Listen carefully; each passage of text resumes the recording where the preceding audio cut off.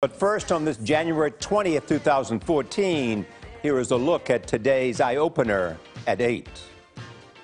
With a new terror threat issued just yesterday, it's adding to fears that Russia won't be able to keep these games safe. Most countries who host Olympics cooperate with the international community extensively in securing those games.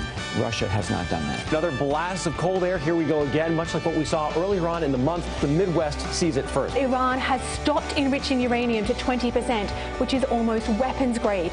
Now, this is part of an agreement done in November. In a sign of how far Christie's star has fallen, Florida's embattled Republican Governor Rick Scott refused to be seen publicly with Christie this weekend. Can you just give us a sense of the logistics of trying to land on a moving comet? It's as if you're trying to put a golf ball through a window from New York to San Francisco. This movie, it's already triggering a debate among Republicans who really thought the election was Romney's to lose. Uh, the ending I probably won't like.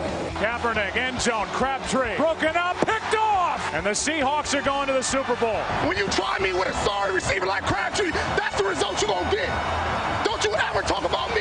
Explain that to all of us. It's kind of like you and Clarissa in the green room getting ready for the show. Today's Eye Opener at 8 is presented by Allergan.